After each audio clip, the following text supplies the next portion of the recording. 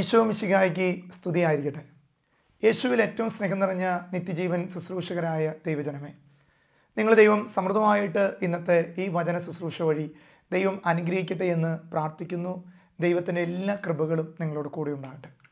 ഇന്ന് നമ്മൾ നിത്യജീവൻ ശുശ്രൂഷയുടെ ആഴമേറിയ ഒരു ബോധ്യത്തെക്കുറിച്ച് പഠിക്കുകയും അറിയുകയും ധ്യാനിക്കുകയും ചെയ്യുകയാണ്. നമ്മൾ ചിന്തിക്കുന്നത് കൗതാശികരമായ വരപ്രസാദത്തെക്കുറിച്ചാണ്. നമുക്കറിയാം കൂതാശ ജീവിതം നയിക്കുന്ന ഓരോ വ്യക്തിയും ഓരോ കൂതാശകളും ആ വ്യക്തിക്ക് നൽകുന്ന നിത്യജീവന്റെ കൃപയെക്കുറിച്ച് അറിഞ്ഞിരിക്കേണ്ടത് ഏറ്റവും പ്രധാനപ്പെട്ട കാര്യമാണ്. അതുകൊണ്ട് സഭയുടെ ഏറ്റവും വലിയ ഒരു പ്രബോധനം പോലെയുള്ളതാണ് ദ സാക്രമെന്റൽ ഗ്രേസ് കൗതാശികപരമായ ഒരു കൃപ നമുക്കുണ്ട്. യഥാർത്ഥത്തിൽ ഈശോ ഓരോ കൂതാശകളും സ്ഥാപിച്ചപ്പോൾ ഈ വിശുദ്ധമായ ഒരു ജീവിതത്തിന് വേണ്ടി ദൈവം തരുന്ന കൃപ നമ്മുടെ ജീവിതത്തെ സ്വന്തമാക്കുകയാണ് ഈ സാക്രമെന്റൽ ഗ്രേസ് അല്ലെങ്കിൽ കൗതാശികപരമായ വരപ്രസാദം. ഓരോ കൂതാശയും സ്വീകരിക്കുന്ന ഒരു വ്യക്തിയിൽ വരപ്രസാദത്തിന്റെ ആഴം നൽകുന്നുണ്ട്. അത് ഈ ഭൂമിയിൽ ജീവിക്കാൻ മാത്രമല്ല ഈ ജീവിതത്തിനപ്പുറം ഒരു ജീവിതത്തിലേക്ക് ഒരു മനുഷ്യനെ കൊണ്ടുപോകാനുള്ള കൃപയും കൂടിയായിട്ടാണ് ഈശോ നമ്മളെ പഠിപ്പിക്കുന്നത്.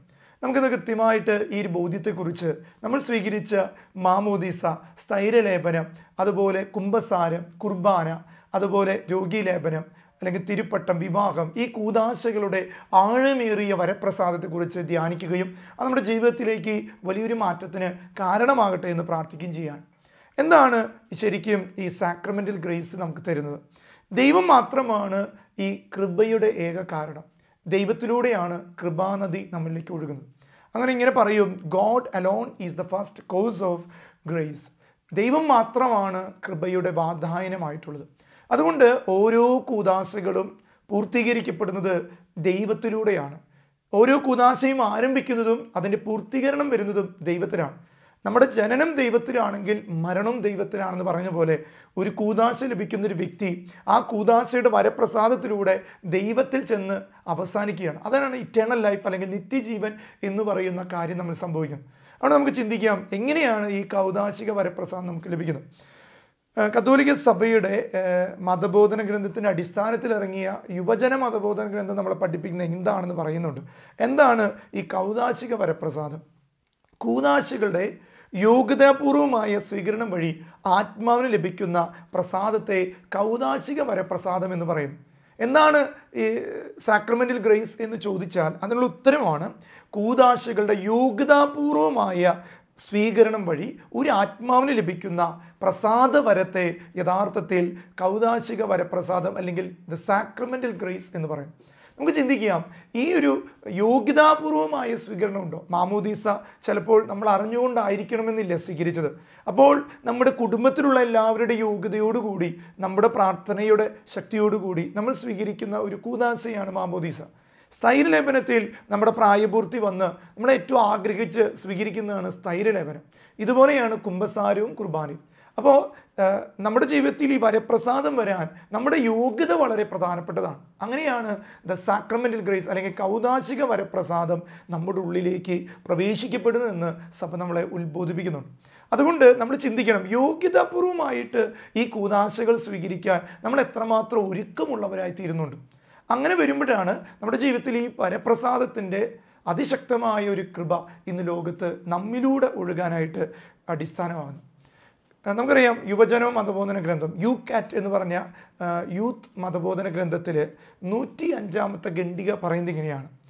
ക്രിസ്തുവിനാൽ സ്ഥാപിച്ച അദൃശ്യമായ യാഥാർത്ഥ്യത്തിന്റെ വിശുദ്ധമായ അടയാളമാണ് കൂതാശകൾ ക്രിസ്തുവിനാൽ സ്ഥാപിക്കപ്പെട്ട അദൃശ്യമായ നമ്മുടെ കണ്ണുകൾ കൊണ്ട് ദൃശ്യമല്ല എന്നാൽ അദൃശ്യമായിട്ട് ഈ കൂതാശകൾ ദൈവം സ്ഥാപിച്ച സമയത്ത് എന്ത് സംഭവിച്ചു? അതുപോലെ തന്നെ നമ്മുടെ ജീവിതത്തിൽ നടക്കുന്ന വിശുദ്ധമായ അടയാളത്തിന്റെ പേരാണ് കൂതാശകൾ അപ്പോൾ ശരിക്കും ഓരോ കൂതാശയും നമ്മുടെ ജീവിതത്തിൽ നമ്മൾ കാണാത്ത അദൃശ്യമായ ഒരു അടയാളം ഒരു വിശുദ്ധി കൊണ്ടുവരുന്നുണ്ട്. അതുകൊണ്ടാണ് പറഞ്ഞത് നമ്മൾ കൂതാശകളെ കുറിച്ച് പഠിക്കുമ്പോൾ നമ്മൾ പറഞ്ഞ് പഠിക്കുന്നൊരു കാര്യമാണ് അദൃശ്യമായ അടയാളത്തിന്റെ ദൃശ്യമായ മുദ്രിതണമാണ് കൂതാശകളെന്ന് തീർച്ചയായിട്ടും മാമോദീസ സ്വീകരിക്കുമ്പോൾ മാമോദീസ തൊട്ടിയുടെ മുന്നിൽ നമ്മൾ നിൽക്കുമ്പോൾ സ്വർഗം തുറക്കപ്പെടുന്നത് നമ്മൾ കാണുന്നില്ല എന്നാൽ തുറക്കപ്പെടുന്നുണ്ട്. ഇവൻ എന്റെ പ്രിയപുത്രൻ എന്ന് അന്ന് ആ കുഞ്ഞിനെക്കുറിച്ച് സ്വർഗത്തിലെ പിതാവായ ദൈവം പരിശുദ്ധനായ ദൈവം ഇറങ്ങി വന്നു. ഇവൻ എന്റെ പ്രിയപുത്രനാണ് ഇവനിൽ ഞാൻ പ്രസാദിച്ചിരിക്കുന്നു. ഇവനിലാണ് ഈ വരപ്രസാദത്തിന്റെ ആഴമുള്ളത്. തീർച്ചയായിട്ടും ഓരോ മാമോദീസ തൊട്ടിയുടെ മുന്നിൽ നിൽക്കുമ്പോഴും നമ്മൾ കരങ്ങൾ കൂപ്പി പ്രാർത്ഥിക്കണം. സ്വർഗം തുറക്കപ്പെടുന്ന ഒരു സമയം ദൈവം ഇറങ്ങി വരുന്ന സമയം ദൈവം പ്രിയപ്പെട്ടവനായിട്ട് സ്വന്തമാക്കുന്ന സമയം. ഇതെല്ലാം സ്വീകരിക്കപ്പെട്ട മക്കൾ അത് തിരിച്ചറിഞ്ഞ് ആ വരപ്രസാദത്തിന്റെ ജീവിതം നയിക്കേണ്ടവർ കൂടിയാണ്. സ്നേഹമുള്ളവരെ അതുകൊണ്ട് നമുക്ക് കുറച്ചുകൂടി ആഴത്തിൽ പഠിക്കാം. യുവജന മതബോധന ഗ്രന്ഥത്തിൽ തന്നെ നൂറ്റി എഴുപത്തി മൂന്നാമത്തെ ഖണ്ഡിക പറയുന്നത് ഇങ്ങനെയാണ്. നമുക്ക് എന്തുകൊണ്ടാണ് ഒന്നാമതായിട്ട് കൂതാശകൾ ആവശ്യമാണെന്ന് പറയാൻ കാരണം? ഇന്ന് യുവജനങ്ങളൊക്കെ ചോദിക്കുന്ന ഒരു ചോദ്യമാണ്. അതുകൊണ്ടായിരിക്കണം ബെനഡിക്ട് പാപ്പ ഈ യുവജന മതബോധന ഗ്രന്ഥത്തിൽ ഇത് കൃത്യമായിട്ട് പറയാൻ സഭയുടെ പ്രബോധനമായിട്ട് പറയാൻ കാരണം. ഇന്ന് പിള്ളേർ ചോദിക്കാറുണ്ട് എന്തിനിങ്ങനെ കുർബാനയ്ക്ക് പോകേണ്ട ആവശ്യം? എന്തിനാ കുമ്പസാരിക്കേണ്ട ആവശ്യം? എന്തിനിങ്ങനെ കൂതാശകൾ ഇടക്കിടക്ക് സ്വീകരിക്കണം നിർബന്ധിക്കണം? ആ ഒരു ചോദ്യമാണ് ഈ പുസ്തകത്തിൽ ചോദിക്കുന്നത്. നമുക്ക് എന്തുകൊണ്ട് ഒന്നാമതായിട്ട് കൂതാശകൾ ആവശ്യമാണെന്ന് പറയാൻ കാരണം? അതിനുള്ള ഉത്തരം ബെനഡിക് പാപ്പ തരുന്ന ഇങ്ങനെയാണ്. സഭ തരുന്ന ഇങ്ങനെയാണ്. നമ്മുടെ നിസാര ജീവിതത്തിന് അപ്പുറത്തേക്ക് വളരാൻ യേശുവിലൂടെ യേശുവിനെ പോലെയാകാൻ സ്വാതന്ത്ര്യത്തിലും മഹത്വത്തിലും ദൈവമക്കളാകുവാനും നമുക്ക് കൂതാശകൾ ആവശ്യമാണ്. നമ്മുടെ നിസ്സാര ജീവിതം നമ്മൾ സാധാരണ മനുഷ്യരാണ്. അസാധാരണമായ ഒരു ദൈവിക സാന്നിധ്യത്തിലേക്ക് ഈ സാധാരണ ജീവിതത്തിന് അപ്പുറത്തേക്കുള്ള ഒരു അസാധാരണമായ ഒരു കൃപയിലേക്ക് വളരാൻ യേശുവിനെ പോലെ ആകാൻ യേശുവിനോടൊപ്പം ജീവിക്കാൻ യേശുവിന്റെ സഭയ്ക്ക് വേണ്ടി ജീവിക്കാൻ നമുക്ക് ഒരു കൃപ വേണം ഒരു സ്വാതന്ത്ര്യം വേണം ഒരു മഹത്വം വേണം. അതിനാണ് ദൈവം നമുക്ക് കൂതാശകൾ നൽകിയിരിക്കുന്നത്. ഓരോ കൂതാശയ്ക്കും അതിന്റെതായ മഹത്വമുണ്ട് അതിന്റെതായ സ്വാതന്ത്ര്യമുണ്ട് അതിന്റെതായ ഒരു കൃപയുണ്ട്. സ്നേഹമുള്ളവരെ അതുകൊണ്ട് ഈ തലമുറകൾ അറിഞ്ഞിരിക്കേണ്ട ഒരു കാര്യമാണ് ഈ കൗതാശികരമായ ഒരു വരപ്രസാദം. എന്നും നമുക്ക് ലഭിക്കാവുന്ന ഒരു കൂതാശകളുണ്ട്. അത് നമ്മൾ എത്രമാത്രം യോഗ്യതയോടെ സ്വീകരിക്കുന്നുണ്ടെന്ന് ഈ ശുശ്രൂഷ കണ്ടുകൊണ്ടിരിക്കുന്ന ഓരോ മകനും മകളും ചിന്തിക്കേണ്ടത് വളരെ പ്രധാനപ്പെട്ടതാണ്. അതുകൊണ്ട് സ്നേഹമുള്ളവരെ നമുക്ക് തിരിച്ചറിയാം. യോഗനാന്റെ സുവിശേഷം ഒന്നാം അധ്യായം പതിനാറ് മുതൽ പതിനെട്ട് വരെയുള്ള തിരുവചനങ്ങൾ. വചനം പറയുകയാണ് അവന്റെ പൂർണതയിൽ നിന്ന് നാം എല്ലാം കൃപയ്ക്ക് മേൽ കൃപ സ്വീകരിച്ചിരിക്കുന്നു. ദൈവം എന്ന പൂർണതയിൽ നിന്ന് നാം കൃപയ്ക്ക് മേൽ കൃപ സ്വീകരിച്ചിരിക്കുന്നു. അപ്പോൾ ദൈവം സ്ഥാപിച്ച ഈ കൂനാശകളിൽ നമുക്ക് ലഭിക്കുന്നത് കൃപയ്ക്ക് മേൽ കൃപയാകുന്ന ഒരു ചൈതന്യമാണ്. അതുകൊണ്ടാണ് വചനം പറയുന്നത് അവന്റെ പൂർണതയിൽ യേശുവിന്റെ പൂർണതയിൽ നാം എല്ലാം കൃപയ്ക്ക് മേൽ കൃപ സ്വീകരിച്ചിരുന്നു. എന്തുകൊണ്ടെന്നാൽ നിയമം മോശ വഴി നൽകപ്പെട്ടു കൃപയും സത്യവുമാകട്ടെ യേശു ക്രിസ്തു വഴിയുണ്ട്. ഓരോ കൂതാശകളും സ്ഥാപിച്ചത് യേശുവാണ്. അതുകൊണ്ട് പറയാണ് നിയമങ്ങൾ മോശ വഴി പഴയ നിയമത്തിൽ നൽകിയെങ്കിൽ പുതിയ നിയമം വരുമ്പോൾ അവിടെ യേശു ക്രിസ്തു വഴി സത്യവും ജീവനും നമുക്ക് യേശു ക്രിസ്തു വഴി ഉണ്ടായി എന്നാണ് വചനം ഓർമ്മപ്പെടുത്തുന്നത്. തുറന്നു പറയുക ദൈവത്തെ ആരും ഒരിക്കലും കണ്ടിട്ടില്ല. പിതാവുമായി ഗാഠബന്ധം പുലർത്തുന്ന ദൈവം തന്നെയായ ഏകജാതനാണ് അവിടുത്തെ വെളിപ്പെടുത്തിയത്. അപ്പോൾ ഈശോ ഈശോയെ എങ്ങനെ വെളിപ്പെടുത്തുന്നു? ഈശോ കൂതാശകളിലൂടെ മാമോദീസയിലൂടെ. ഈശോ നമ്മുടെ ജീവിതത്തിലേക്ക് ഒരു ജന്മ ജനനത്തിന്റെ ഒരു വരപ്രസാദം തരുന്നുണ്ട്. സ്ഥൈര്യലേപനത്തിലൂടെ ആത്മധൈര്യത്തിന്റെ കൃപ നമുക്ക് നൽകുന്നുണ്ട്. തുടർന്ന് പറയുകയാണെങ്കിൽ കുംഭസാരത്തിലൂടെ അനുരഞ്ജനത്തിന്റെ ശക്തി നമുക്ക് നൽകുന്നുണ്ട്. കുർബാനയിലൂടെ നമ്മുടെ ഉള്ളിലേക്ക് വസിക്കുന്നുണ്ട്. രോഗി ലേപനത്തിലൂടെ ഒരു രോഗിയായ വ്യക്തിയെ സൗഖ്യത്തിന്റെ കൂതാശയാക്കി മാറ്റുന്നുണ്ട്. വിവാഹം എന്നതിലൂടെ ഒരു വ്യക്തിത്വത്തിലൂടെ സഭയെ വളർത്തുന്ന അനേകം കുഞ്ഞുങ്ങൾക്ക് ജന്മം കൊടുക്കാൻ ഒരു അപ്പനെ അമ്മയോ ആക്കിയിട്ട് ഒരു മാതാപിതാക്കൾ മാറ്റുന്നുണ്ട്. ഒരു പുരോഹിതൻ അനേകം കൂതാശകളുടെ പരികർമ്മയായിട്ട് മാറ്റിയിട്ട് സഭയുടെ മേലുള്ള തിന്മകളെ ഇല്ലാതെയാക്കുന്നു. അപ്പോൾ കൂതാശകളിലൂടെ ക്രിസ്തു പ്രവർത്തിക്കുന്നതാണ് യഥാർത്ഥ സംഭവിക്കും. അതാണ് ഇവിടെ വചനം നമ്മളെ ഓർമ്മപ്പെടുത്തുന്നത്.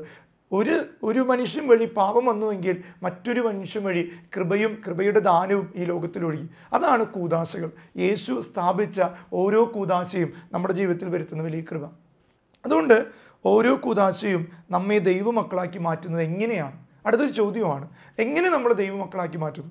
ഒന്നാമത്തത് മാമോദീസയാണ്. മാമോദീസയിൽ എങ്ങനെയാണ്? ജന്മപാപത്തിൽ നിന്ന് നിബന്ധിച്ച മനുഷ്യ മക്കളെ മാമോദീസയിലൂടെ ദൈവത്തിന്റെ വത്സല മക്കളാക്കി മാറ്റുന്നു.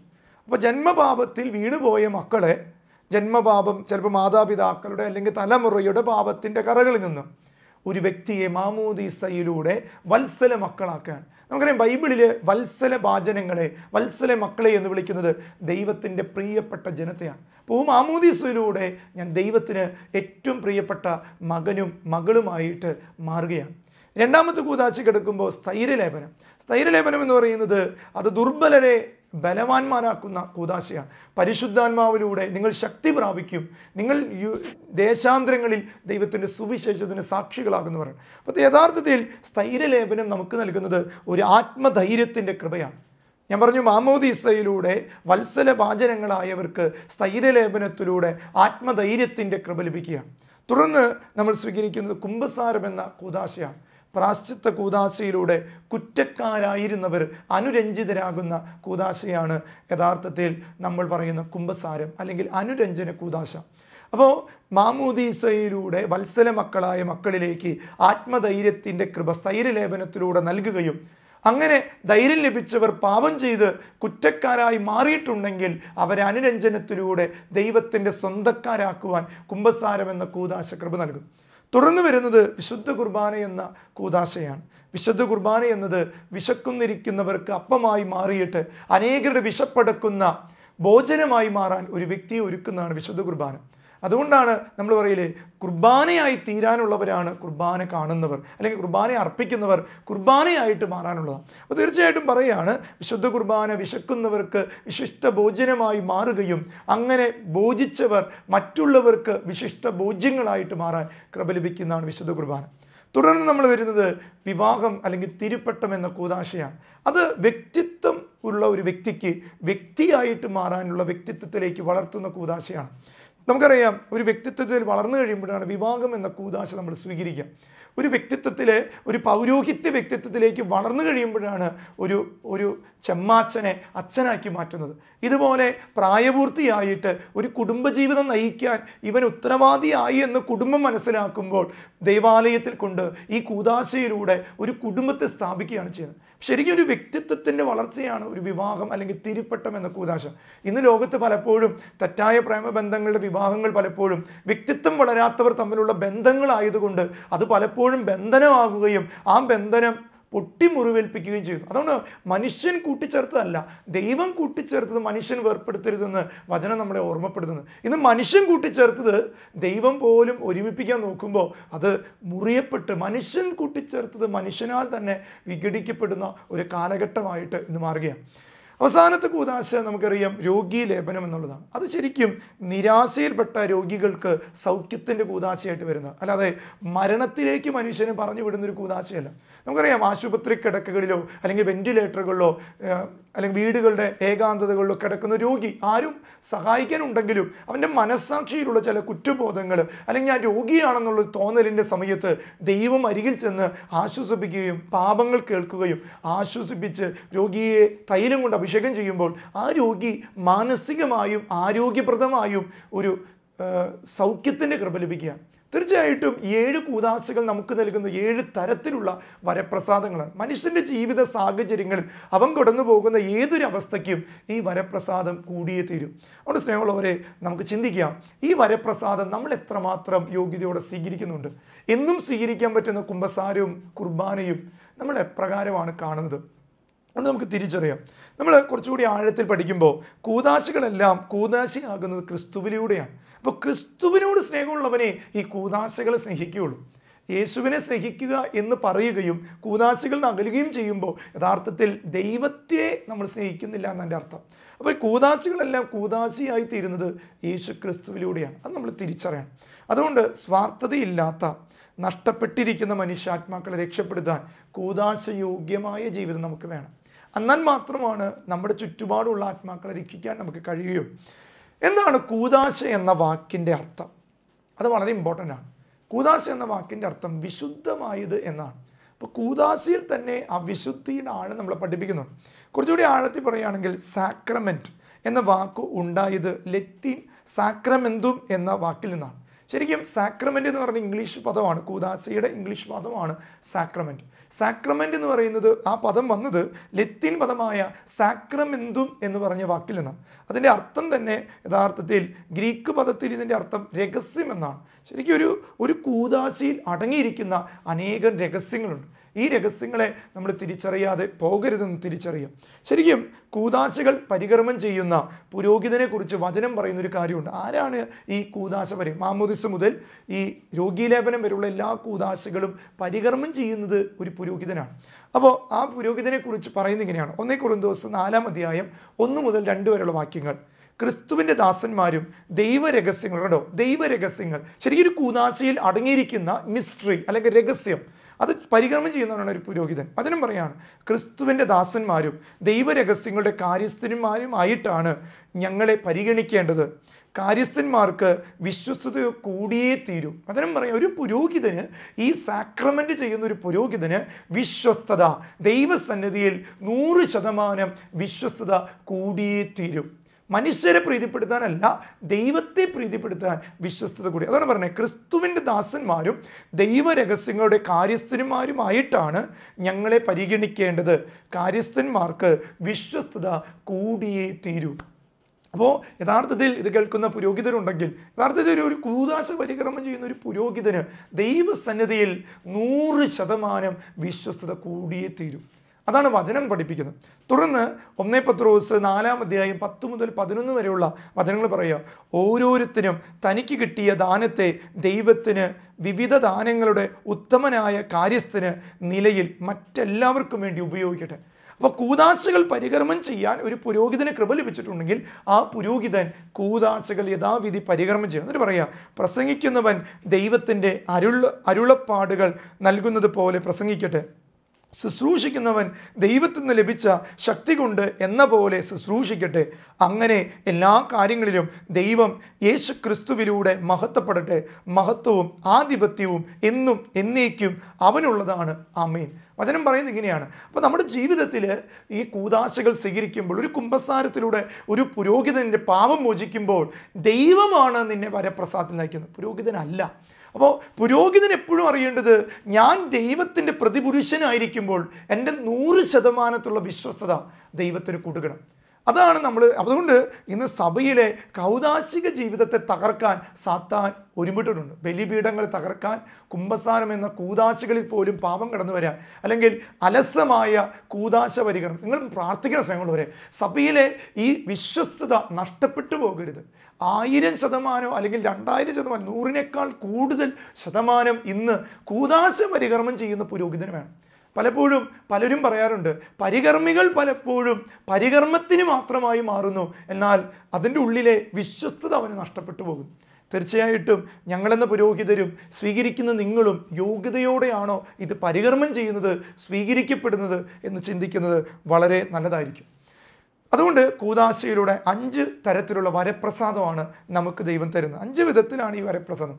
ഒന്നാമത്തെ വരപ്രസാദം ആത്മാവിനെ സുഖപ്പെടുത്തും. ഏതൊരു കൂതാശയും വ്യക്തിഗതമായിട്ട് പറയുകയാണെങ്കിൽ ഒരു ആത്മാവിനെ സുഖപ്പെടുത്തുന്നു. ഇപ്പോൾ മാമൂദിസ് സ്വീകരിക്കുന്നു. ഒരിക്കലും ഞാനൊരു മാമൂസ് തൊട്ടി മുന്നിൽ നിൽക്കുമ്പോൾ ആ കുഞ്ഞിന് മാമൂസ് നോക്കുമ്പോൾ അപ്പനും അമ്മയോട് പറഞ്ഞൊരു കാര്യമുണ്ട്. അച്ഛാ എന്റെ കൊച്ചിന് ഈ ഇതിന് കിഡ്നിക്ക് അല്ലെങ്കിൽ ലിവറിന് എന്തോ ഹോൾ ഉണ്ടെന്ന് പറഞ്ഞു. ഹാർട്ടിന് ഹോളുണ്ട്. അതുകൊണ്ട് ഭയങ്കര പ്രശ്നമാണ്. കൊച്ചിന് ഭയങ്കര എന്നും രോഗങ്ങൾ അസ്വസ്ഥത. ഞങ്ങൾ മാമൂസ് നോക്കാൻ തീരുമാനിച്ചു. ഞങ്ങൾക്കൊരു വിശ്വാസമുണ്ട് എന്റെ കൊച്ചിന് സുഖപ്പെടും ഞാൻ പറയുന്നത് ആ കൂതാശയോട് ആ മാതാപിതാക്കൾ ചെയ്ത വിശ്വസ്തത. അങ്ങനെ മാമോസ് നോക്കി ഇത് കഴിഞ്ഞു. രണ്ട് മാസം കഴിഞ്ഞ് ചെക്കപ്പിന് പോയപ്പോൾ അവർ പറയാണ് ആ ഹോൾ ആ ശരീരത്തിലില്ല. എന്താണ്? അതാണ് പറഞ്ഞേ ആത്മാവിന്റെ സുഖപ്പെടുത്തൽ ആ വരപ്രസാദത്തിലൂടെ ലഭിക്കപ്പെട്ടു. അതുകൊണ്ട് മാമോദീസ കുംഭസാരം രോഗീലേപനം എന്നിവയിലൂടെ സ്വീകരിക്കുന്ന ആത്മാവ് പാപത്തിന്റെ മുറിവുകൾ സുഖപ്പെടുത്തും രോഗത്തിന്റെ മുറിവുകൾ സുഖപ്പെടുത്തും. മാമോദീസയിലൂടെ കുംഭസാരത്തിലൂടെ രോഗീലേപനത്തിലൂടെ സ്നേഹമുള്ളവരെ നമ്മളെ സുഖപ്പെടുത്തുന്ന ഒരു അഭിഷേകമുണ്ട്. രണ്ടാമത്തെ വരപ്രസാദ് ഇതാണ്. കൃപാവര അവസ്ഥയിൽ സ്വീകരിക്കപ്പെടുന്ന കൂതാശകൾ വഴി ആത്മാവിൽ വിശുദ്ധീകരണവും വരപ്രസാദത്തിന്റെ വർധനവും ഉണ്ടാകും. അപ്പോൾ കൃപാവരത്തെ നല്ല വിശുദ്ധിയോടെ ഒരു കൂതാശ. അപ്പോൾ കുംഭസാരം നല്ല ഒരുക്കത്തോടെ നമ്മൾ സ്വീകരിച്ചു കഴിഞ്ഞ് ദിവ്യകാരുണ്യം സ്വീകരിച്ചു കഴിയുമ്പോൾ പറയാണ് കൃപാവര അവസ്ഥയിൽ സ്വീകരിക്കപ്പെടുന്ന കൂതാശകൾ വഴി ഒരു ആത്മാവ് വിശുദ്ധി പ്രാപിക്കും. അപ്പോൾ നമ്മൾ ഏറ്റവും വിശുദ്ധിയോടെ ദിവ്യകാരുണ്യം സ്വീകരിച്ചാൽ നമ്മൾ വിശുദ്ധരായി തീരുന്നു നൂറ് ശതമാനം ഉറപ്പാണ് അതാണ് കുംഭസാരം എന്ന വരപ്രസാദം കുർബാന എന്ന വരപ്രസാദത്തിലേക്കുള്ള ആഴമായിട്ട് മാറും. ഇത് ഒന്നൊന്നിനോട് ബന്ധപ്പെട്ടതാണ് തിരിച്ചറിയുക മൂന്നാമത്തെ കാര്യം അതുകൊണ്ട് അനുദിനം യോഗ്യതയോടെ സ്വീകരിക്കുന്ന ദിവ്യകാരുണ്യം നിന്റെ ജീവിതത്തിൽ കൃപ വരും. മൂന്നാമത്തത് കൂതാശകളുടെ സ്വീകരണം വഴി ആത്മാവ് പ്രവർത്തന രഹിതമാകുകയാണ് പ്രവർത്തന ശക്തമാക്കുകയാണ് അതുകൊണ്ട് വരപ്രസാദം നമുക്ക് സ്വീകരിക്കാൻ പറ്റും. അപ്പോൾ കൂതാശികൾ എന്നും സ്വീകരിക്കും. ഇപ്പോൾ കുംഭസാരം ആഴ്ചയിൽ ഒരിക്കൽ സ്വീകരിക്കുന്ന അല്ലെങ്കിൽ മൂന്ന് ദിവസം കൂടുമ്പോൾ സ്വീകരിക്കുക. എന്നും കുർബാനയ്ക്ക് പോവുക. അങ്ങനെയുള്ളൊരു വ്യക്തിയുടെ വരപ്രസാദം അതിശക്തമായിരിക്കും. ഞാൻ പറഞ്ഞത് യോഗ്യതയോടുള്ള കുർബ- കുർബാന. എന്നും കുർബാനയ്ക്ക് പോകുന്നവരുണ്ട്. കുംഭസാരം മാസത്തിൽ സ്വീകരിക്കും എന്നും കുർബാനയ്ക്ക് പോകും. അതല്ല ഞാൻ പറഞ്ഞത് ഇടയ്ക്കിടയ്ക്ക് കുമ്പസാരിക്കുകയും ഇടയ്ക്ക് എന്ന് പറഞ്ഞാൽ ആഴ്ചയിൽ ഒരിക്കൽ കുമ്പസാരിക്കുകയും എന്നും കുർബാന സ്വീകരിക്കുകയും ചെയ്യുന്നവന്റെ ജീവിതത്തെ അവന്റെ കുടുംബത്തിൽ വലിയൊരു വരപ്രസാദത്തിന്റെ കൃപയുണ്ടാവും. സ്നേഹമുള്ളവരെ നാലാമത്തതായിട്ട് പറയുന്നത് ഇതാണ്. നാലാമത്തെ കാര്യം ആത്മാവിൽ സ്ഥിരമായി കൂതാശകൾ മുദ്ര പതിപ്പിക്കപ്പെടും. ഒരു മുദ്ര ചെയ്യപ്പെടുന്ന ഒരു കൃപയുണ്ട്. ശരിക്കും ഈ കൂതാശകൾ ഇന്ന് സ്വീകരിക്കുന്നവന്റെ ഉള്ളിൽ ഒരു മുദ്രയാണ്. നമ്മൾ കുരിശ് വരയ്ക്കുന്ന ഒരു മുദ്രയാണെങ്കിൽ കൂതാശകൾ ഒരു വ്യക്തിയുടെ ഒരു ശരീരത്തിന് മേൽ ഒരു മുദ്ര പതിക്കും. അതുകൊണ്ട് സാത്താന് ആ മുദ്ര കാണുന്ന വ്യക്തികളെ പേടിയാണ് കുർബാന ഇരിക്കുന്ന ശരീരത്തെ പിശാചിന് പേടിയാണ് ഇടയ്ക്കിടെ കുമ്പസാരിച്ച് വരപ്രസാദം പുനർക്രമീകരിക്കുന്ന ഒരു വ്യക്തിയെ പിശാചിന് പേടിയാണ് അഞ്ചാമതായിട്ട് ഓരോ കൂതാശയും തനതായിട്ടുള്ള കൃപാവരം സാധ്യമാക്കും. ഒരു വ്യക്തി ഇപ്പോൾ ഞാൻ പഠിക്കുന്നൊരു വ്യക്തിയാണെങ്കിൽ എനിക്ക് എന്റെ ജീവിതത്തിന് പഠിക്കേണ്ട ആവശ്യമുള്ളൊരു ജ്ഞാനം തരും. അപ്പോൾ ഞാനൊരു പുരോഹിതനാണ് ഒരു വൈദികനാണ് ഒരു ശുശ്രൂഷകനാണ് അല്ലെങ്കിൽ ഞാനൊരു വചനപ്രസംഗനാണ്. ഞാൻ ഈ കൂതാശകൾ യഥായോഗ്യം സ്വീകരിക്കുമ്പോൾ എന്റെ സുവിശേഷ വേലയ്ക്ക് വേണ്ട ഒരു വരപ്രസാദം ദൈവം തരും. ഒരു കുടുംബനാഥനാണെങ്കിൽ ആ കുടുംബനാഥനെ ഒരു അപ്പന് ഈ വരപ്രസാദം തരും. ഒരു മക്കളെ വളർത്താൻ കുടുംബത്തെ നോക്കാൻ. അമ്മയ്ക്ക് ടീച്ചറാണെങ്കിൽ ടീച്ചർക്ക് ഓരോ വ്യക്തിത്വത്തിനനുസരിച്ചുള്ള ഒരു വരപ്രസാദം യഥാർത്ഥത്തിൽ ലഭിക്കുന്നു. അതാ പറഞ്ഞത് ഓരോ കൂതാശയും തനതായിട്ടുള്ള ഒരു വ്യക്തിയുടെ ജീവിത സാഹചര്യത്തിന് ആവശ്യമായ ഒരു വരപ്രസാദം സാധ്യമാക്കുന്നുണ്ട്. അതുകൊണ്ട് വിവാഹം എന്ന കൂതാശ വഴി കുടുംബജീവിതത്തിലൂടെ കൃപ ലഭിക്കാൻ അവർക്ക് സാധിക്കും. പൗരോഗിത്യത്തിൽ പിശാചുകളെ പുറത്താക്കാൻ രോഗികളെ സുഖമാക്കാൻ അങ്ങനെയുള്ളൊരു വരപ്രസാദത്തിന്റെ ശക്തിയാണ് അതുകൊണ്ട് സ്നേഹമുള്ളവരെ ഈ ഒരു കൃപ നമുക്ക് വേണം. തീത്തൂസിന്റെ ലേഖനത്തിൽ മൂന്നാമധ്യായം നാല് മുതൽ ഏഴ് വരെയുള്ള വാക്യം പറയാണ് എന്ത എന്നാൽ നമ്മുടെ രക്ഷകനായ ദൈവത്തിന്റെ നന്മയും സ്നേഹവും നിറഞ്ഞ കാരുണ്യവും വെളിപ്പെട്ടപ്പോൾ അവിടുന്ന് നമുക്ക് രക്ഷ നൽകി. അത് നമ്മുടെ നീതിയുടെ പ്രവൃത്തി കൊണ്ടല്ല പിന്നെയോ അവിടുത്തെ കാരുണ്യം മൂലം പരിശുദ്ധാത്മാവിൽ അവിടുന്ന് നിർവഹിച്ച പുനർജീവനത്തിന്റെയും നവീകരണത്തിന്റെയും സ്നാനത്താൽ അത്രേ അതുകൊണ്ട് പറഞ്ഞു ഒരു വരപ്രസാദവും ഒരു പുനർക്രമീകരണവും ഒരു വരപ്രസാദം നമുക്ക് നൽകുന്നു. എന്നിട്ട് പറയാണ് ദൈവം നമ്മുടെ രക്ഷകനായ യേശു ക്രിസ്തുവിലൂടെയാണ് പരിശുദ്ധാത്മാവിനെ നമ്മുടെ മേൽ സമൃദ്ധമായി വർഷിച്ചത്. അതുകൊണ്ട് സ്നേഹമുള്ളവരെ നമുക്കൊന്ന് കരങ്ങൾ കൂപ്പാം. നമ്മൾ സ്വീകരിച്ച എല്ലാ കൂതാശകളുടെയും വരപ്രസാദ യോഗ്യത നമുക്ക് ലഭിക്കാൻ വേണ്ടി പ്രാർത്ഥിക്കാം. കർത്താവെ ഞങ്ങൾ സ്വീകരിച്ച മാമോദീസയിലൂടെ സ്ഥൈര്യലേപനത്തിലൂടെ കുംഭസാരം എന്ന കൂതാശകളിലൂടെ വിശുദ്ധ കുർബാനയിലൂടെ ഞങ്ങൾക്ക് ലഭിച്ച വരപ്രസാദം ഞങ്ങൾ സ്വീകരിച്ച വിവാഹം ഞങ്ങൾ സ്വീകരിച്ച പൗരോഹിത്യം ഞങ്ങൾ രോഗീലേപനം സ്വീകരിച്ചിട്ടുണ്ടെങ്കിൽ ആ ലേപനത്തിന്റെ അഭിഷേകം ഞങ്ങളുടെ മേൽ എന്നും ഉണ്ടാകട്ടെ. കർത്താവെ കൗതാശിക വരപ്രസാദത്തിന്റെ വലിയ കൃപ സ്വീകരിച്ച് നിത്യജീവനിലേക്ക് വളരുവാൻ ഞങ്ങൾ അനുഗ്രഹിക്കണമേ. നിത്യം പിതാവിന്റെയും പുത്രന്റെയും പരിശുദ്ധാത്മാവിന്റെയും നാമത്തിൽ അമേൻ